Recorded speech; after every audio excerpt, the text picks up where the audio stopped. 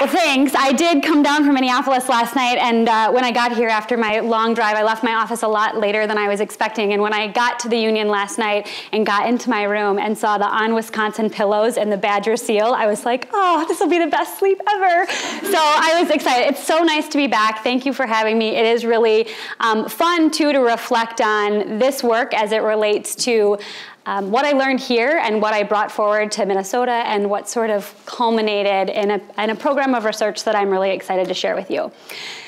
So I remember distinctly the first time that I went to the women's prison, and I was there observing this pregnancy and parenting group that is run by a nonprofit organization. Um, and I was there just to sort of learn and observe. And I was sitting there, and the group facilitator said, to the group of women, what's your biggest fear about being a parent? This was sort of the check in for the day. And we kind of went around the table and we got to the last woman, and she was probably seven or eight months pregnant, visibly pregnant, looking very, very tired. And she said, My biggest fear about being a parent is that I'm going to be no better to my baby than my mama was to me. And the group facilitator very delicately probed and she said, So, how are you doing with that? And the mom said, You know, honestly, I'm not sure. I'm pregnant and in prison, but I'm not beating my baby. So, which is worse, right? And for me, this was this moment of sort of encapsulated everything that we had learned I had learned about attachment theory, intergenerational patterns of parenting and abuse and neglect and the ways in which this woman's trauma from childhood was really carried forward into her own adult trajectory, but also the way she was thinking about parenting her own child, right? And for me, it was this profound moment of thinking, I'm totally in the right place. I need to be exactly in this seat today, and I suspect I'm going to be at this prison for many, many, many more times to come. So, I suspect that this is not, for those of you who are in Julie's class or who have heard Julie speak or are aware of what's happening with incarceration in, this, in the country, what we know, right, is that between 1991 and mid-year 2007, the number of children with a mother in prison went up 131%. And we can look, there are you know, similar inclines, increases with um, children with a father in prison, but not as drastic, about 77% increase during that period of time.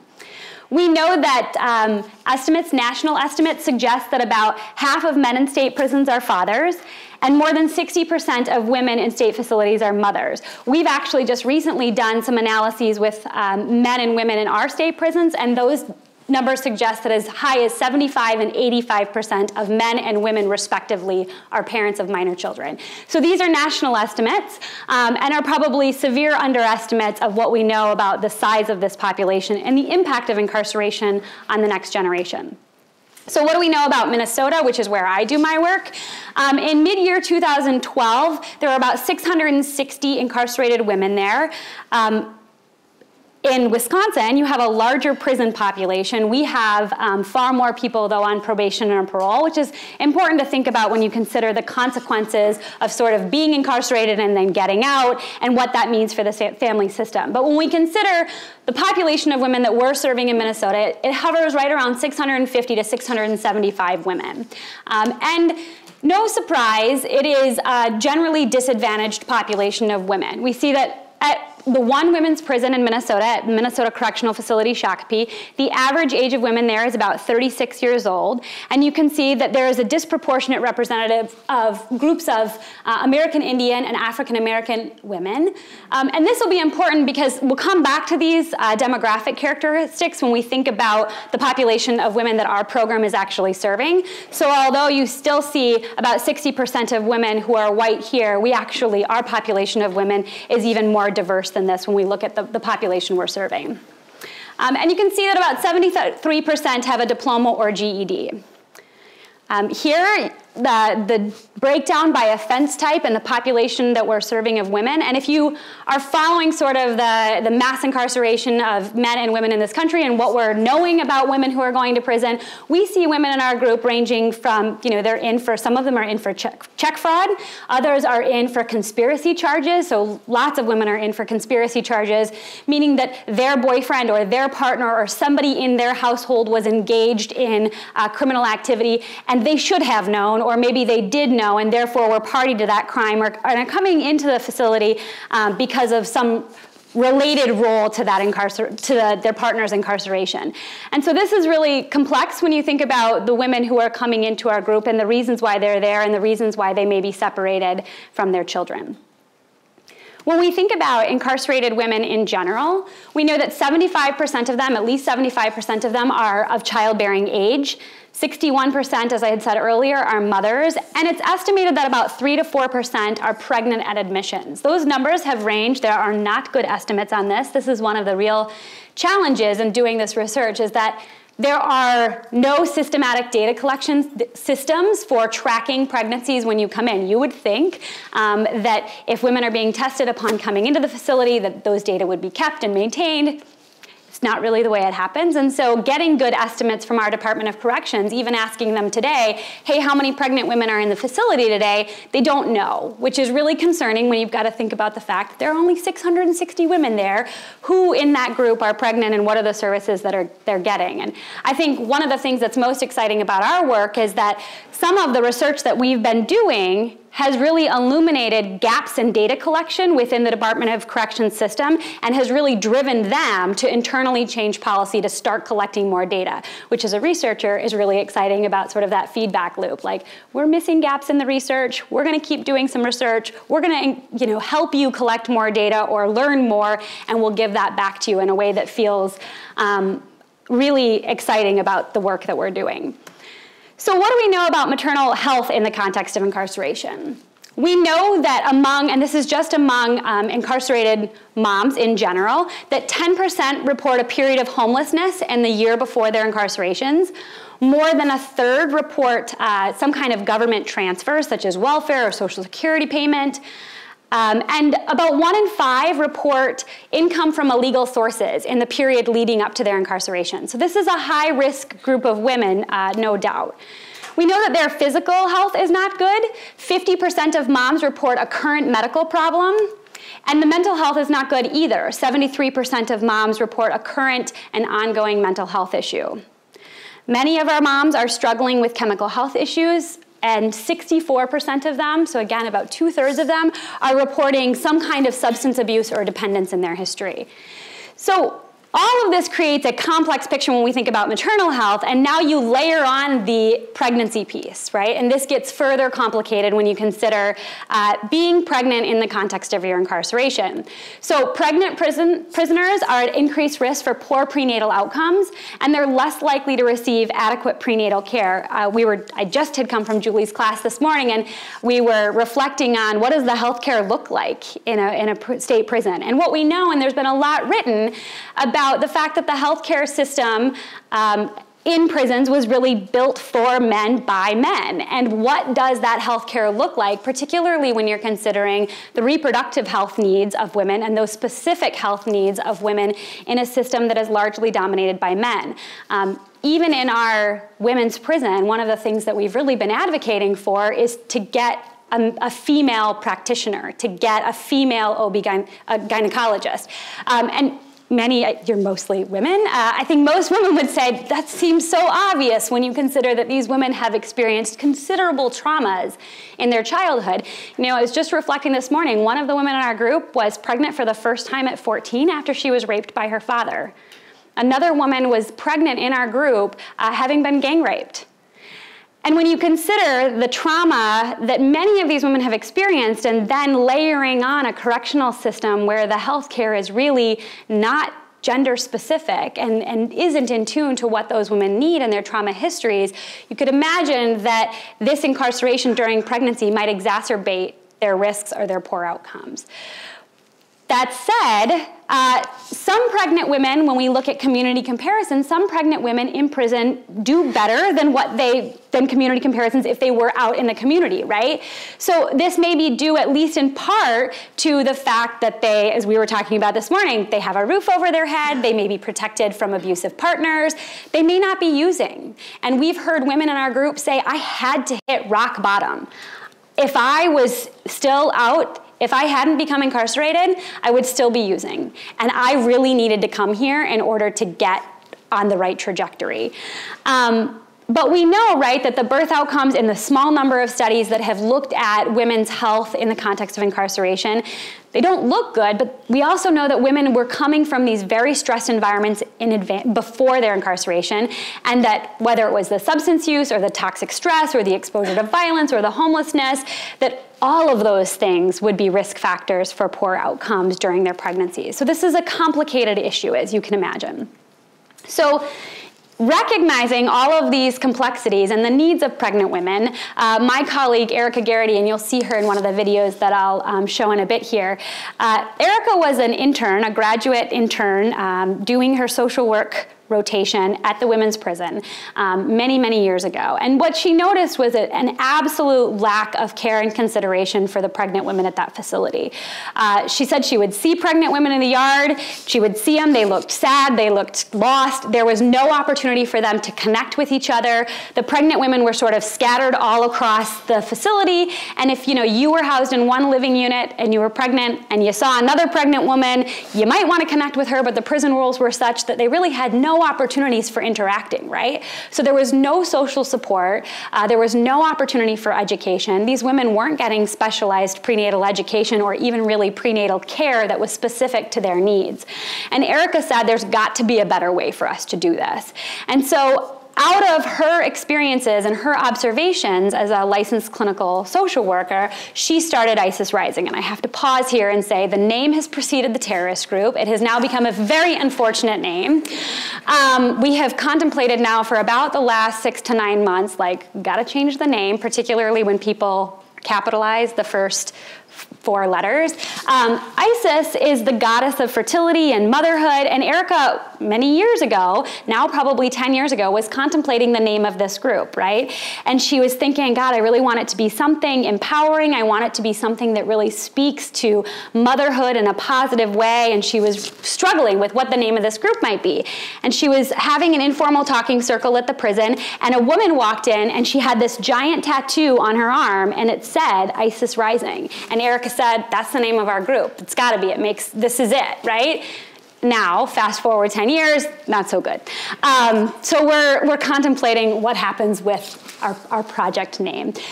So the project has two key components, and I'm going to share a little bit uh, with you about kind of both of these elements and outcomes and what we're doing from an evaluation science side for both of these. Um, so the two components are this new moms group and the doula program. So we offer basically a pregnancy and parenting support program at the women's prison in Shakopee. And women who are have children under the age of five are referred by their case manager or are currently pregnant. Um, and their participation in the program is voluntary, and all of the research that I'll tell you about is their participation in that is, of course, voluntary as well. I will say that as we move through outcomes and we talk about this, the science side of all of this, we haven't had a single woman turn down having a doula um, or accessing birth support. We also haven't had a single woman say, I want the service, but I don't want to participate in the research. Uh, being a part of this research project seems to be a very empowering experience for these women. Um, they feel like through the research, they are getting a collective voice in a way that I think is really exciting. Um, I think about all of the community engaged research that I do, and I think about principles of community based participatory research and all of those principles are really challenged when you go into a system where power structures are what they are in a correctional facility, and the idea of collectively working together on a, on a shared project becomes very complicated. And so all of the women have wanted to participate in the program and in the research, and that is something that we're excited about from a feasibility and implementation standpoint. So the new moms group uh, is a weekly two hour session. It's taught on 12 week group sessions, so we run them like in qu quarters basically, and that's the way the educational system within the, um, the prison is set up. So there might be you know, 12 weeks of an educa education class like a GED or religious programming or some kind of supplemental program. Um, and so our program is, is infused in that, those offerings. Um, it's taught year round and facilitated by Erica or my program coordinator, Ray Baker, or a variety of doulas um, or practitioners that are working in the community. Right now, we've actually been utilizing a paired model where we have um, a social work intern who is there as the second person, which is a really great training opportunity too. The goals of the curriculum are, are really to increase women's knowledge about reproductive health and the physiology of pregnancy and birth to increase their tangible parenting skills and their life skills. So, really, to think about not just how is your body changing with pregnancy, what is it going to be like to be a parent, what are some of the things that you need to think about with the co parenting relationship, but then also to increase women's support from their peers and the professional staff within our program. We really try to do this in a couple of ways. Every week we try to introduce an educational component, so it's not just education, right? It's not just this is how, you know, your your body is physically changing during pregnancy. It's really about we introduce that educational topic, um, and then we try to create a warm and nurturing space where we model empathy, but also encourage accountability, helping women understand their own uh, piece of, of this puzzle explaining the issue of empowerment and helping empower women to make healthy choices in their pregnancy. So if they're coming in, you know, saying, "Well, I'm not being seen and, you know, that correctional officer was nasty to me and I've kited medical 6 times and I still haven't been seen." We really help women reframe that and think about, "Well, okay, what can what are the other strategies that you can take?" So you've kited medical, so that's a prison a prison letter sending through the system. What are other ways? Could you use, you know, the parenting coordinator as an advocate? Could you kite somebody else and go up the chain of command? What were your interactions with that correctional officer like, and how can we reframe that? So, again, trying to really model um, empathy and accountability, but also helping those women um, feel empowered to get the care that they should be getting, which is complicated in this system. And then the second part of the program, which is often what really gets talked about with our program, is this doula component. So pregnant women are matched with a doula uh, who is a trained professional. She provides physical, emotional, and informational support to the mother before, during, and after her birth. And what we know about doula support, right, is that in previous reviews of doula support, we know that women who received continu- continuous intrapartum support, they have shorter labors, they're more likely to have spontaneous vaginal deliveries, and this becomes important when we think about the costs of birth and labor and delivery. Um, and they're less likely to re- report dissatisfaction with their birth experience. And so those are data, you know, that aren't with pregnant women in prison. But when we think about the literature on doula support and birth support in general, this seems like it could be a good model for a high risk group of women in this setting, particularly given that these women would otherwise have no support, right? So given their increased risk, doula care, so we thought, might be a promising um, pro- approach for this group of women. And so, what our doulas do is they provide, as I said, prenatal support. So, the, the doulas meet with the mother once per month or at least twice leading up to the woman's uh, delivery. This gets complicated, as you can imagine, because women are coming into the facility at various stages in their pregnancy. So, they may come in and they may be in their first month of pregnancy, and we can get several prenatal visits in with that woman or she may come in eight months pregnant and we might be able to get one or maybe one visit in before she's ready to deliver. Um, these meetings, and we'll talk about this a little bit more as I move through, but these meetings really include prenatal education, so one on one. These women are also in the group and getting the peer support in the education. But now with the doula, the woman is getting prenatal education, emotional support, and assistance with preparing her birth plan. When the woman goes into labor, she's transferred to the local hospital. At uh, the Minnesota Correctional Facility Shakopee, there is a local hospital where the woman will be seen um, at 32 weeks and after, and that's where she's transferred for her labor and delivery. And so what happens is um, she may start showing signs of of labor, and the doula, the watch commander, calls the doula, and the doula drives down from the Twin Cities area, which is about a 30 minute drive, unless it's snowing, in which case it's a two and a half hour drive. Um, and the doula is there to provide continuous labor and delivery support. So she provides emotional support, helps with physical comfort. She assists the mom in making informed decisions during the labor and delivery. Uh, she can do a lot of the things that traditional doulas would do in that setting, right? She can reposition the mom on, a, on an exercise ball. She can help the mom in the shower. She could use aids that traditional doulas in a community setting would be able to use. And then she provides post birth and postpartum support. So the doula is there, um, like I said, to provide continuous labor and delivery support, but then about 48 hours after that woman delivers her baby, she's going to be separated from the baby. Um, if she's had a, a, typical vaginal delivery, the standard discharge is right around two days. And so the doula then comes back when she knows that mom is going to be discharged, and she provides support in sometimes the, the moments or the hours leading up to that mom being separated. And so you'll hear a little bit about what that looks like. Um, but this is a really, really difficult time for both the mom and the doula, right? That mom can't have any contact with the person who is coming to pick up her baby. So there might be husband or boyfriend or grandma out in the lobby of the hospital, and the nurse is going to take that baby from that mom and wheel the baby down the hall, and the mom is now alone going back to the prison. And so the doula is there to provide a really critical role in emotional support for that woman and help um, coach her through that.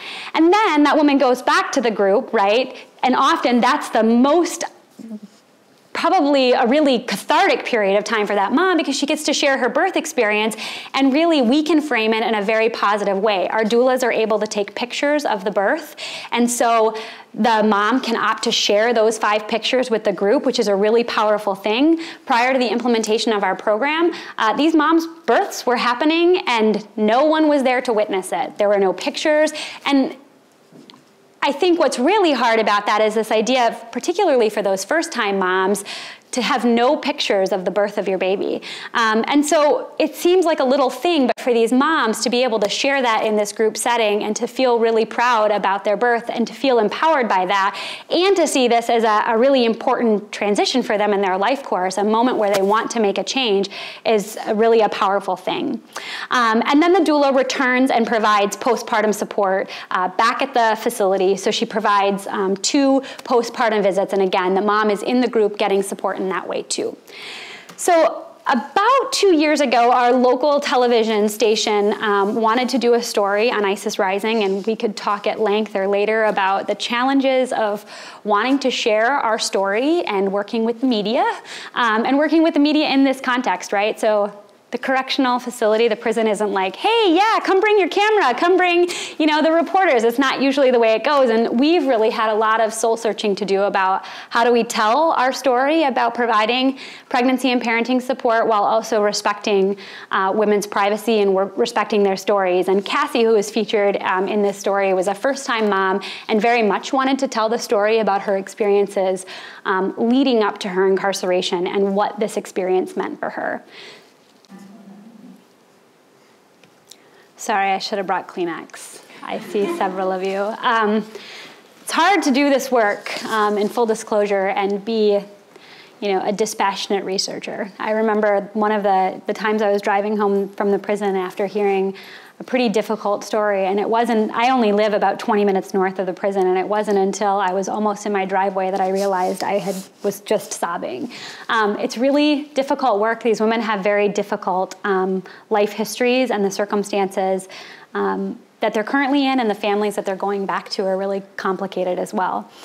So I'm going to tell you a little bit about the program evaluation and the ongoing uh, data collection that we're doing with this program. And as a caveat, I'll say that um, some of the numbers that I'll present are a little bit different uh, than what Boyd Huppert reported in that story, only because they sort of took that snapshot in time. Um, and since then, we've had more data come in, of course, and so those numbers um, have varied a little bit. So what are we doing to sort of understand what this program is doing? The, the human element is clear, but it's the scientist in me says, is it working? What do we know? What are the outcomes that we care about? Um, so we're doing initial and final surveys with the moms in the group, so all of the women who are participating in the group um, those surveys at the start and at the end of 12 weeks are really looking at physical and mental health, so chronic conditions, depression, um, and experiences with the program. Do they like participating? Do they are they getting value out of it? Some of the sort of the user satisfaction elements.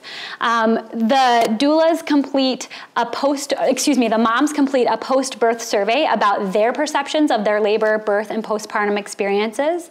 Um, and then the doulas report um, a number of things. So they prepare case notes from the birth, uh, which includes information about the mom's birth plan that was leading up to those, those prenatal visits leading up to the, the birth. Um, they include data about the pregnancy and labor and delivery statistics, uh, the length of the labor, interventions used, uh, gestational age, birth weight, those kinds of really objective measures, if you will. And then they also prepare a birth and separation narrative. And for those of you who have used doulas or are familiar with this model, in the community, this is often referred to as a birth story or maybe referred to as a birth story. And, you know, this was something that the doulas were really doing um, at the beginning for themselves to kind of process the birth and then amongst the group of doulas as a support um, and sort of a way for the group of doulas to support each other and ward off some of these secondary trauma issues that many doulas who are doing this work may uh, experience. And so just really helping the, the, the the practitioners process that birth, right? And so the birth and separation narratives we weren't really necessarily anticipating using as data, but ended up becoming a really valuable source of qualitative data as we've moved through this project. Um, the group, the section up there in purple, the initial and final surveys, I had said at the beginning that we allowed women to participate in the group if they had children under the age of five or were currently pregnant. And initially we were evaluating all of those women and the women in the group who weren't pregnant were also doing initial and final surveys. The group has gotten so big and so many women have wanted to participate with children of a variety of ages that since we've actually split. And we have a new moms group with women who are pregnant and recently postpartum. And then we have have a mothering inside group where those moms with older children and, and even those toddlers and school age children are participating. And that really is taking a different form. Um, but we're evaluating all of that too. What I'm going to share with you now really is focused on those pregnant women in particular. Between July 2011 and June 2014, we had 39 pregnant women who were matched with a doula. You can see here uh, that the average age was about 20 28 and a half years old. This is substantially lower than the average in the prison, which was 36. And you can see here the, the racial breakdown looks quite different. So versus the 60% of the women at Shakopee that are white, uh, only 36% of our population, um, our sample in the the program is white.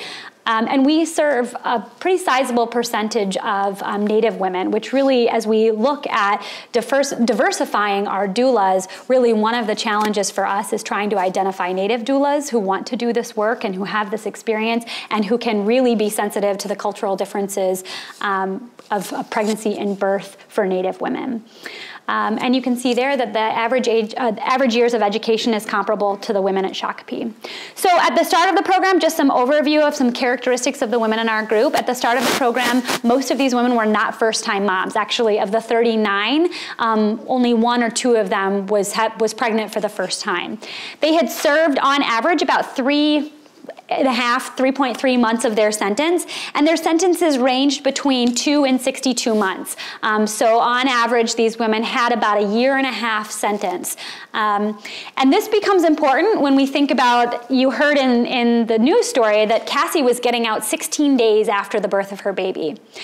This becomes important, that difference between time of delivery and release from prison for a whole host of reasons, um, including what might be alternatives to incarceration, sort of um, providing these data to think about, well, what else could we do with these moms besides sep separate them from their babies for those 16 days? If Cassie is going to return and be the primary caregiver for that mom, whether it's six days or 16 days or even six months, does it benefit Cassie and does it benefit that baby to be separated?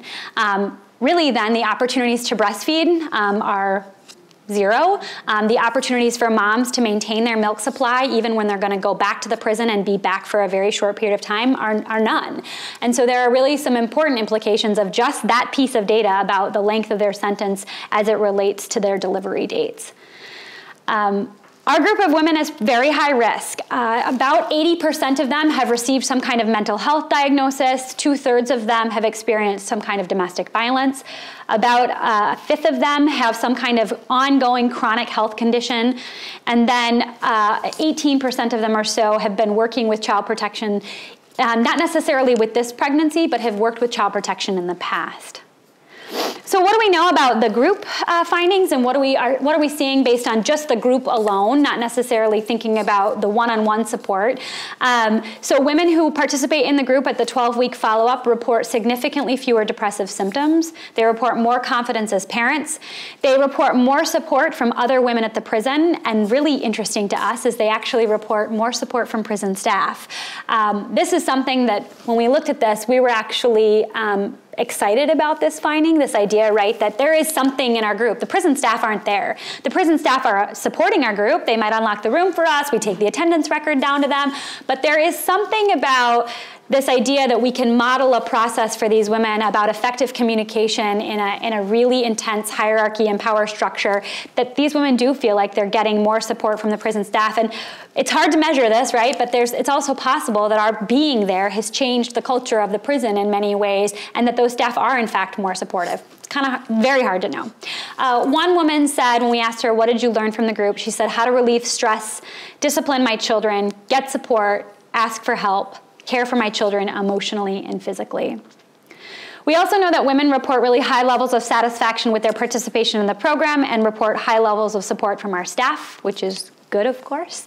Um, and when we look at more objective measures and thinking about are they getting what we want program from, from a program implementation standpoint, what we know is that the overwhelming majority, about 87% of those moms are getting those first two visits. Um, again, I said that the timing of their pregnancy can be really challenging when they come into the facility. We've had a couple moms who have come in right before they're due, and we don't get a chance to meet them before one on one before they deliver. The first prenatal visits you can see are last about an hour in length, and the doulas are talking with the clients about coping with their incarceration, emotional changes and stress, um, their birth preferences, and what it's going to be like to give birth in prison. We haven't missed a single birth, uh, which is always challenging when you think about how unpredictable birth can be, and that sometimes that call comes and they say your client's in labor, and our doulas have to, you know, get on the road very, very quickly to try to get to Shakopee. Um, and you can see that the doulas are staying with their clients at the hospital for about seven and a half hours. And the topics, the most common topics that they're discussing are breastfeeding, birth in prison, birth preferences, and some of the emotional changes and stress that they're experiencing. That separation visit lasts uh, just over three hours, about three and a half hours, and the doulas are really here focused again on coping with incarceration. What is this experience going to be like when you go back, and how difficult that is? The emotion cha- emotional changes. Some topics about taking care of your body after birth and breastfeeding and then doing two postpartum visits, which last about an hour. Again, that common theme of really coping with the incarceration and the separation from the baby, um, taking care of your body after birth, and really getting back to exercise. So let's think about some of the birth outcomes. Uh, of those 39, we had 30 five spontaneous vaginal deliveries and only four C-sections. So in the video, you heard the C-section rate was at 33%. Uh, the national average for non-incarcerated women does hover right around 33%. Uh, and this becomes important when we think about the cost of these deliveries um, and the risk to mom and baby for unnecessary C-sections. Uh, Erica mentioned in the video, you know, we were hearing in group, anecdotally, women were saying to each other, if you get a choice, you go with that C-section because you get one more day with your baby. And who doesn't want one more day with their baby, right, in this circumstance? It's also really challenging because scheduling a C-section has a lot of advantages from a prison side of things, right? The, the, the, staff at the prison then know when they're being transported and when they're going. The woman isn't aware of when that C-section is delivered, uh, uh, scheduled for safety and security reasons, but for a system that operates on routine and movement and safety, you could see why a C-section, those C-section rates might have been as high as they were um, prior to the implementation of our program.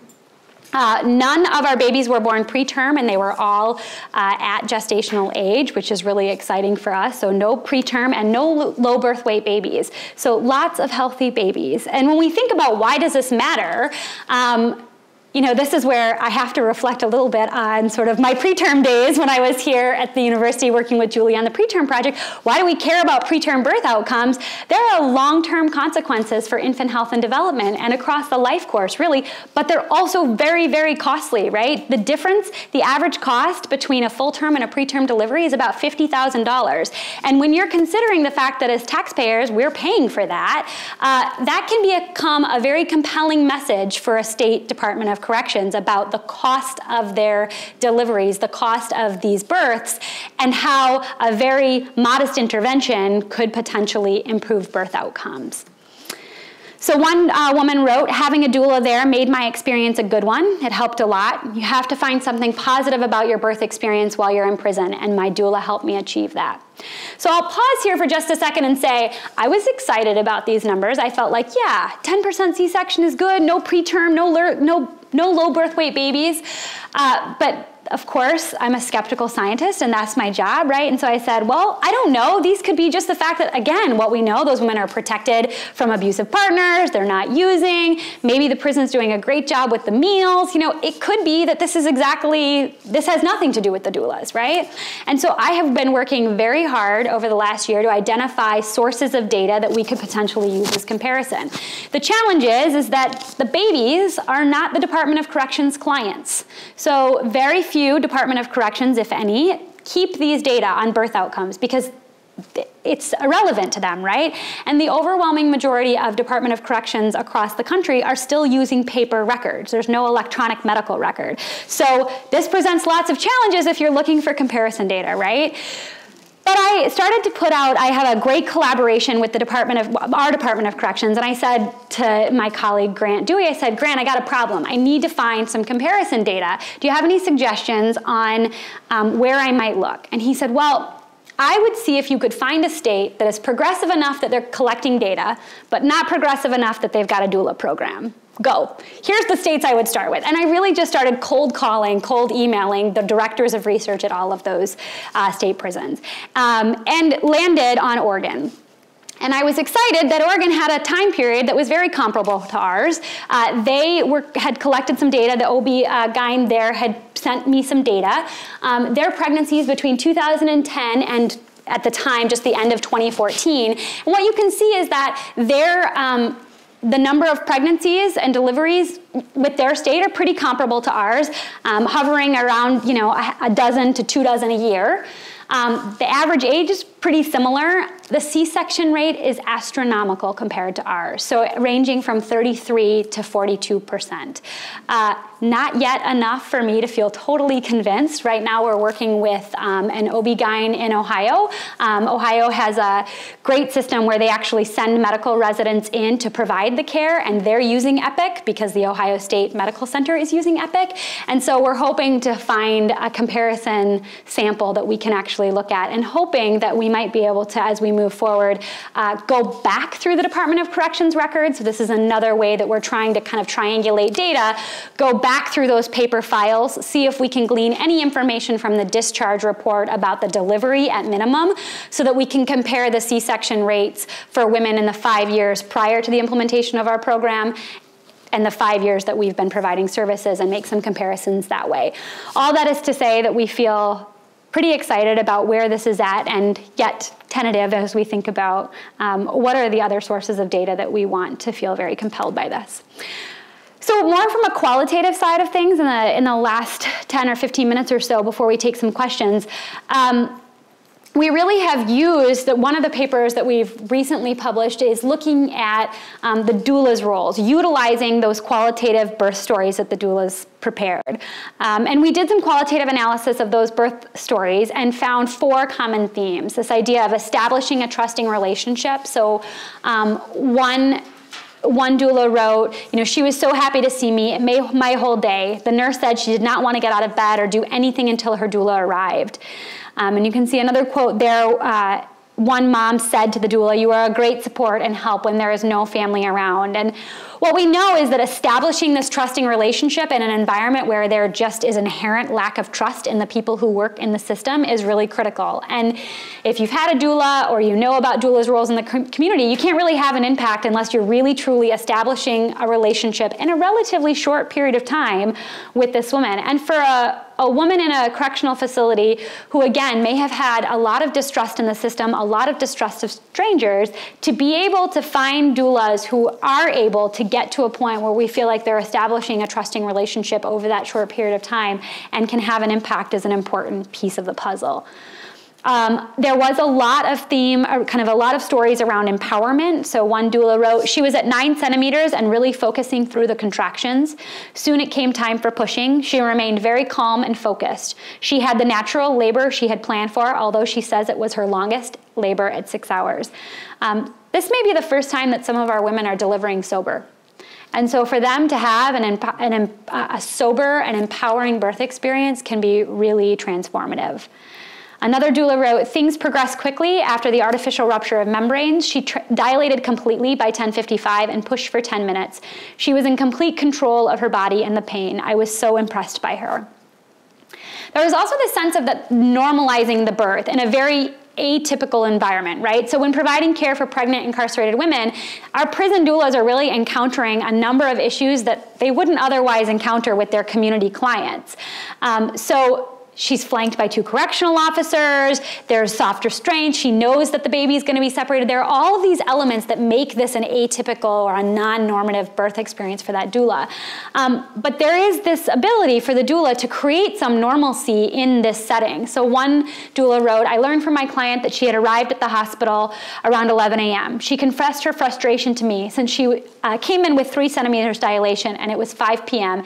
and she was still at three centimeters. We decided to use the ball, a large exercise ball used to increase a woman's flexibility. You've seen them at the gym, I'm sure. Um, she didn't like it very much, and then we tried to go on all fours on the bed. My client did not like being on all fours due to back pain. After a few hours had gone by, we decided to go in the tub. The nurse brought in a lavender inhaler, and my client loved the smell of the sweet, the sweet smell of lavender. Now, if you read this birth story, it wouldn't you would have no idea that this was a woman who was currently incarcerated and that, you know, a day later she'd be separated from her baby and that she would be, you know, put in full restraints to be wheeled out of the hospital. This is something that our doulas can create in this environment that was really not there prior to the implementation of our program. And then, really, this critical role about this support during separation that is a unique feature of a prison doula project. So, one doula wrote I arrived on the day that my client was to be released back to prison. When I arrived, she was eating breakfast with her baby, snuggled in with her. She told me about the two days she spent with her daughter, hardly putting her down at all. She breastfed the whole time, and the baby was doing very well at latching on. She was terribly sad that the baby would have to switch to formula. Her mom was set to come at 10 a.m. to pick the baby up. She was very sad, but was also feeling happy that her mom would be able to bring the baby to visit often. She ended up getting to spend a good part of the day cuddling her baby. She changed back into the clothes she came in the hospital in and got ready to be shackled for the ride back to prison. I asked that they bring a wheelchair in, and I grabbed a blanket out of the closet. Once she was shackled and sitting in the wheelchair, I put the blanket over her lap. I picked up the baby and held her up to my client's face so she could kiss her. My client quietly cried. The officer started to push her out into the hallway. The nurse walked al- alongside her, pushing the baby bassinet all the way up to the door. The nurse then picked up the baby for one last kiss. And another doula wrote, It was time to say goodbye. By then, the baby was back um, from being taken to the visiting room and was being held by my client. She started sobbing. She covered her face with the blanket. She got dressed, and the shackles were placed on her wrists, feet, and a chain around her waist. She was wheeled out of the hospital and back to the facility. She cried all the way until she got to the van, and I could not be a witness to her tears anymore. I think we have seen that one of the biggest challenges in implementing this program is really providing support to these doulas in a role that they otherwise have no training for, right? It's unnatural for moms to be separated from their babies um, in this way. And if you're trained through DONA and have done a lot of community births, getting to go back and see your mom, you know, that mom after you've delivered, after she's delivered, and be with your client is really a positive experience. Um, this is really emotionally difficult for those women and the doulas. So as we think, um, we have expanded really in the last couple years. And as we think about sort of next steps, I want to tell you kind of where we've been and where we're going in just the last few minutes here. So in the summer of 2012, we undertook a jail needs assessment.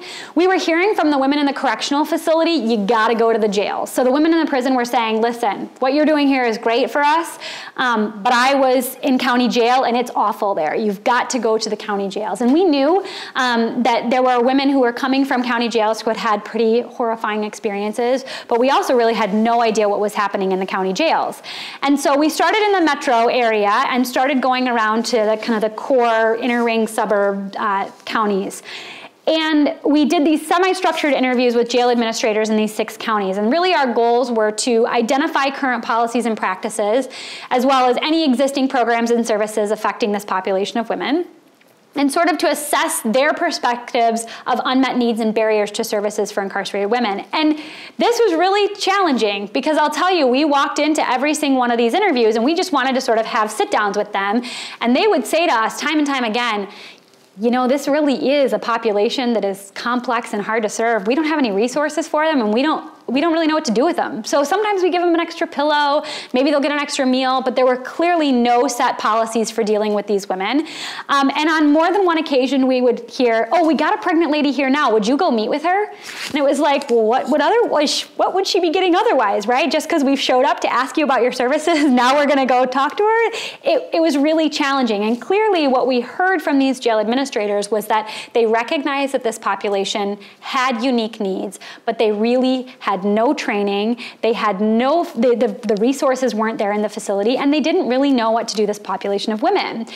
And what we heard multiple times was that they had pregnant women coming in and out of the facilities, but they had no births. And the first time we heard this, I remember distinctly which jail we were in, and I remember Erica and I looked across the table at each other and we thought, that doesn't make any sense. And I kind of gently clarified and I said, Can you tell me more about that? So you're having pregnant women come through your facility, but you don't have any births. How's that happening?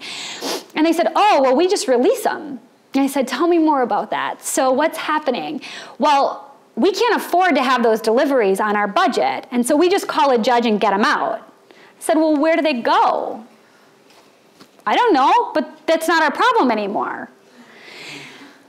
And I just had this moment of like, I got where they were coming from from a financial standpoint. I really truly did, but they were coming very much at a corrections administration lens, and I was coming at this like public health lens. And where was the continuity of care, where was she going, what was happening with these women as they were being released. And we realized that there was just this tremendous gap in services for these women. And really, what was happening was women might get all the way up until their eighth or ninth month of pregnancy, and they would literally call a judge and say, okay, we've got to get Miss Smith out of here. And maybe she'll come back and finish her sentence when her baby is three months old. Maybe she'll deliver her baby and the next week, she needs to come back and finish her sentence.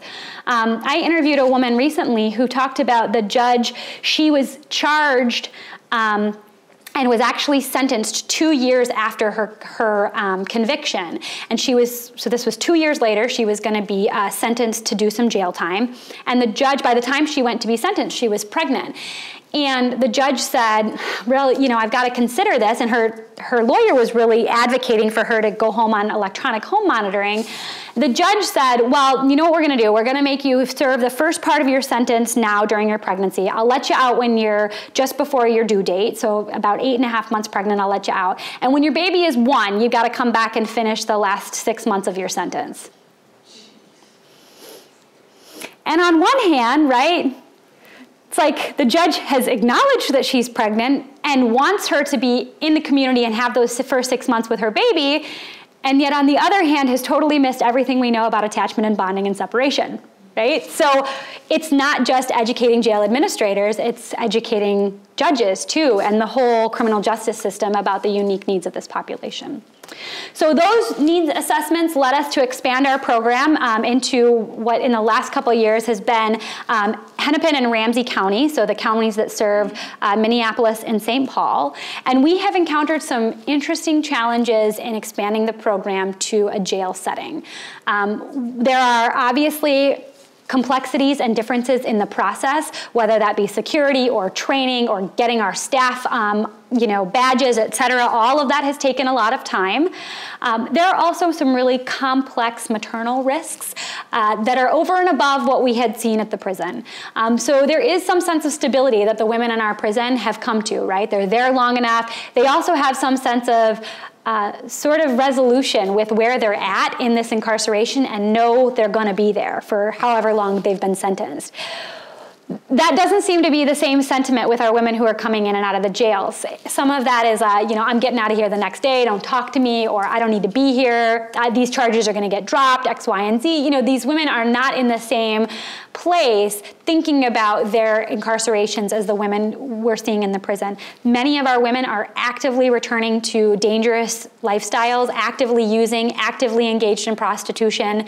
Um, homeless. And this is a really difficult challenge when you think about how do you serve this population of women. The group format has been really challenging to implement, not impossible, um, but different in uh, the jail setting where so much of what we've seen, again, anecdotally, is creating that environment in which those moms feel supported by each other at the prison. And so much of their support is coming from their peers, right? What that experience is like. Our facilitators can't say to them, this is what it felt like for me when I came back and was separated from my baby. But another mom can. And so, in the group format in the jails, when the turnover is as fast as it is, and that group of women is not as consistent, it's presented a lot of challenges in thinking about how the peer support looks in that setting. Um, and then the doula support looks different in particular because now these women are delivering in the community, right? But they're delivering in a community in potentially a very high risk um, setting. And so our community based doulas are challenged to think about where that mom goes and helping follow that mom, assuming she wants to stay and re continue receiving services. Um, and so that presents some interesting challenges as well.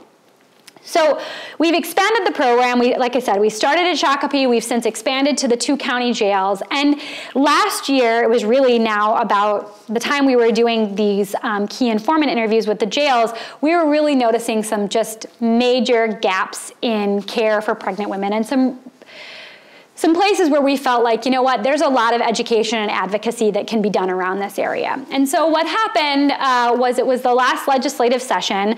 Uh, we were working, we had had some informal conversations. Erica was at a grantee meeting and actually ran into, she was very, very pregnant at the time, and ran into a state representative and Erica was talking about our program, and the uh, legislator said, You've got to get something on the books about this. We've got to put in a bill. And Erica, I remember her calling me saying, like, We're not ready for that, are we? And I thought, No, we're not ready for that. Like, I don't know about you, but I don't have any legislative advocacy training. Like, where are we going to begin, right?